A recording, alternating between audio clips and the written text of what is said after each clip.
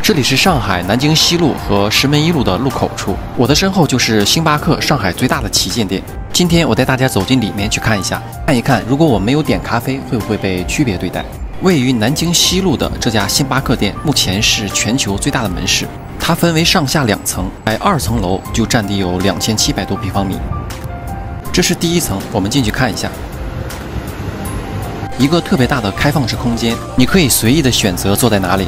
我先在里面溜达溜达，在一楼的一侧是一个咖啡制作工厂，坐在这里可以看到咖啡制作的流程。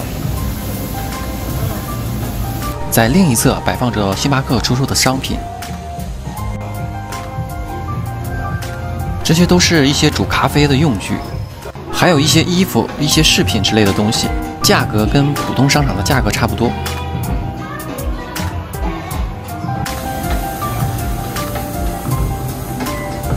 这是咖啡的吧台处，不知道是不是受到了前些天负面新闻的影响，这个时间星巴克里人不是很多。这里是星巴克的打包车间，这些咖啡豆应该是可以出售的吧？这是一楼大厅的另一侧。我发现来到这里的顾客都是来到这里办公的，还有企业面试也选择了这里。听说二楼有两千七百多平方米，我们去看一下。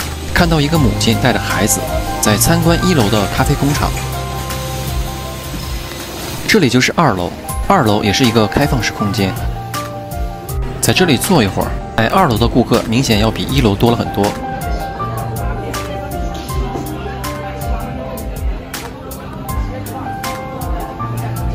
听说这家店的面包是意大利米兰品牌的。我在这里逛了好一会儿，并没有被这里的店员打扰。我个人并不喜欢喝咖啡，但却非常喜欢闻咖啡的味道。上海是我去过的城市中咖啡店铺最多的城市，这可能是上海是一个国际化大都市的原因吧。每天这家店都会有许多人来这里打卡拍照。